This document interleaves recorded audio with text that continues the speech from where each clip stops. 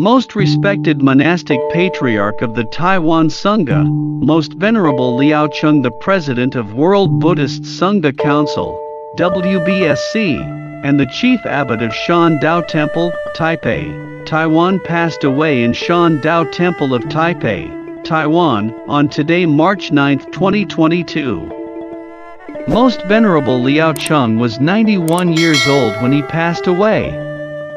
To follow his instructions before he is dying, there will be no funeral ceremony scheduled to be held. The cremation ceremony will be held on March 22, 2022, and the body will be enshrined at Shan Dao Temple of Taipei, Taiwan. A lifetime member of the World Buddhist Sangha Council, WBSC, most Venerable Dr. Galudita Mahanaika Thero has expressed his deepest condolences on the demise of the President of World Buddhist Sangha Council, WBSC, and the Chief Abbot of Shan Dao Temple, Taipei, Taiwan Most Venerable Liao Chung. Most Venerable Liao Chung Elder was born in Taizhou City, Jiangsu Province, on October 28, 1932. The common surname is Zhou, and the name of the monk is in the middle. The elder has an excellent memory since he was a child, and his reading is almost unforgettable. At the age of nine, he became a monk at the Fahua Nunnery, now Fahua Temple in Taizhou, Taizhou, under the name of Venerable Yuanqing. At the age of 11, he entered Jiangyin Fohua Primary School. At the age of 20, he went to study at Guangxiao Temple Buddhist College in Taizhou. Always at the top of the class. In 1947, he received full ordination at Nanjing Gulin Temple, and successively traveled to Nanjing Qixia Buddhist College and Shanghai Jing'an Buddhist College. In 1961, he went to Fuso in the east.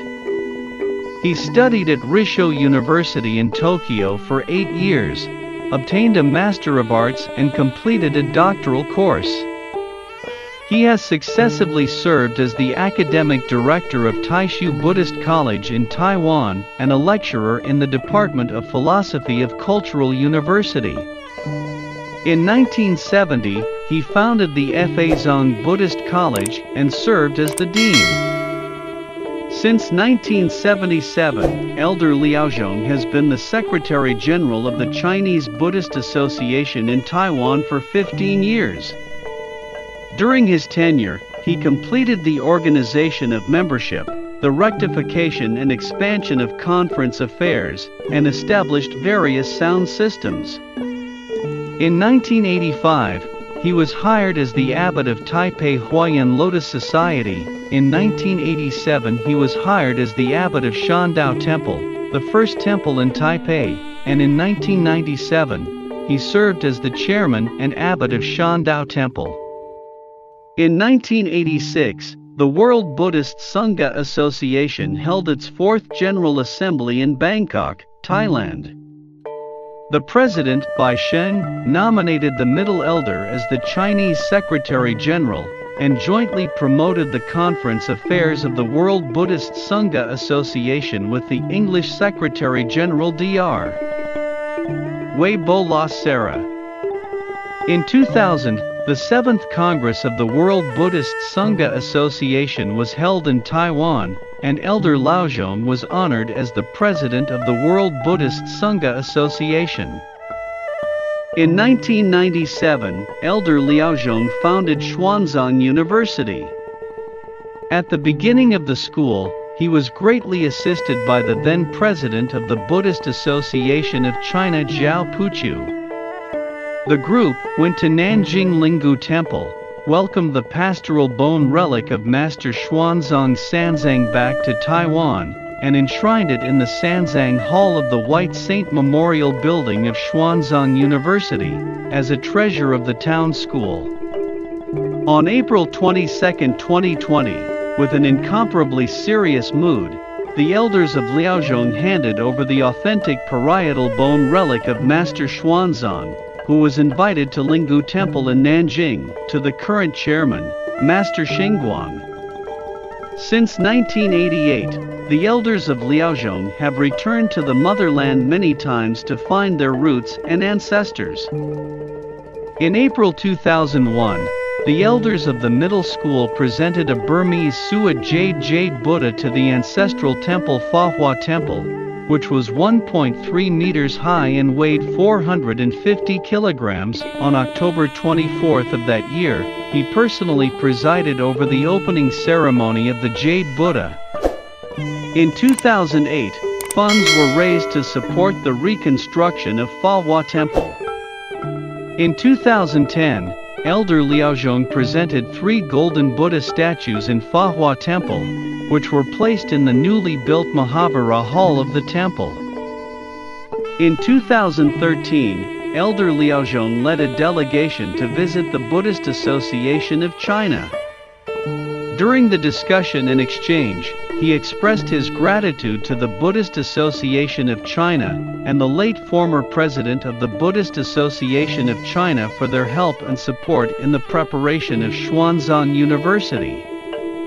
Elder Liaozhong said that over the years, the friendly exchanges between the Buddhist circles on both sides of the strait have achieved fruitful results, which cannot be separated from the support of the Buddhist Association of China for the exchanges and cooperation between the Buddhist circles on both sides of the strait. On October 12, 2013, the president of the Taiwan World Buddhist Sangha Association and his delegation visited the Buddhist Association of China. And the elder Chuan Yin presented the calligraphy to the elder. On May 7, 2014, Xuanzang University held the Buddha bathing ceremony. After the ceremony, the elders of Liaozhong and the distinguished guests of the Hsinchu City Buddhist Association took a leisurely tour of the famous police officer in the campus, Qingxin Lake. On November 9, 2015, the 84-year-old elder Lu Zhong said humorously at the second board of directors of the 10th Xuanzang Cultural and Educational Foundation, if you do it, you will die, if you don't do it, you will die, instead of waiting for death if you don't do it, it is better to do it. To death. With the encouragement of the middle-aged elders, old G is still in the dark, and the ambition is a thousand miles away. It has lasted for a long time, which is touching. On December 5, 2018, the abbot promotion ceremony was held at Shandao Temple in Taiwan, and Venerable Da Hui took over as the abbot. From left, Elder Jingliang, Master Da Hui, and Elder Liaozhong, on March 17, 2020, the elders of Liaozhong made an advance will. Explaining three things, 1. When dying, first aid should not be used in any way to prolong his life, and let him go away naturally. 2. When entering extinction, no funerals, no obituaries, no chanting meetings, no ceremonies such as hexagrams and altars. 3.